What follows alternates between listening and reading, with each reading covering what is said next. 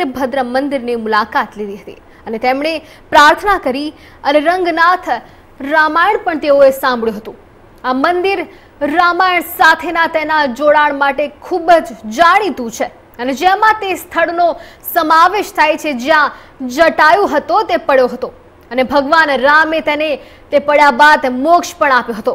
ત્યારે અયોધ્યામાં ભવ્ય રામ મંદિરના બહુ અપેક્ષિત એવા પ્રાણ પ્રતિષ્ઠા સમારોહના છ દિવસ પહેલા વડાપ્રધાન નરેન્દ્ર મોદીએ આંધ્રપ્રદેશના લેપાક્ષીમાં વીરભદ્ર મંદિરની મુલાકાત લીધી.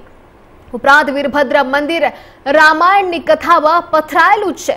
એક મહાન સાંસ્કૃતિક અને ઐતિહાસિક મહત્વ પણ આ સ્થળ ધરાવે છે.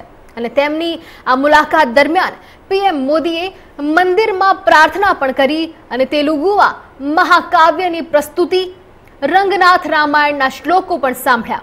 આ મંદિર મહાકાવ્ય કથામાં એક વિશેષ જ સ્થાન ધરાવે છે. એવું પણ માનવામાં આવે છે કે જ્યાં પક્ષી જટાયુ પડ્યો હતો ને જે બાદમાં સીતાના ફરણ દરમિયાન રાવણ દ્વારા તે ઘાયલ થયો હતો. અને આ એ જ જગ્યા છે જ્યાં ભગવાન રામે સીતાના અપહરણની જાણ કર્યા પછી તે મૃત્યુ પામેલો હતો જટાયુ. તે જટાયુને ભગવાન રામે સ્વયં મોક્ષ આપ્યો હતો ને તેવા પવિત્ર સ્થળે આપણા વડાપ્રધાન નરેન્દ્ર મોદીએ મુલાકાત લીધી છે.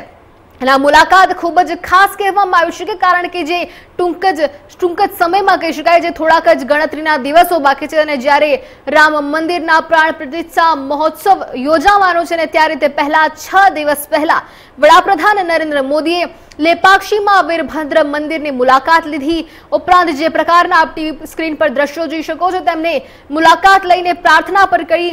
સૌ કોઈને તેઓ મળ્યા પણ હતા, ત્યારે લેપાક્ષીમાં વીરભદ્ર મંદિરના આપ દ્રશ્યો જોઈ શકો છો.